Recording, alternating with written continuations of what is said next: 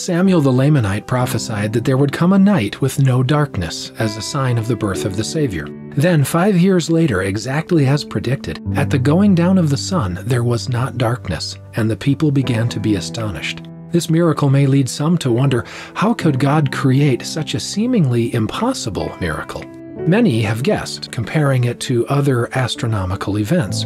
In the 11th century, a supernova lit up the entire world so brightly that researchers have said it provided enough light that people could probably have read by its light. Similarly, in 1908, a mysterious explosion in Russia caused an atmospheric glow which lit up the night sky. The glow was so bright that NASA researchers said people in Asia could have read a newspaper at midnight.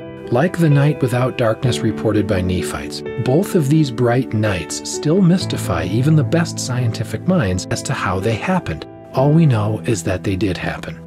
We do not need to know now how God works his miracles, only that he does so to speak to his children. Regardless of how God accomplished the night without darkness reported in the Book of Mormon, the symbolism of Christ's birth as a source of light is what shines forth.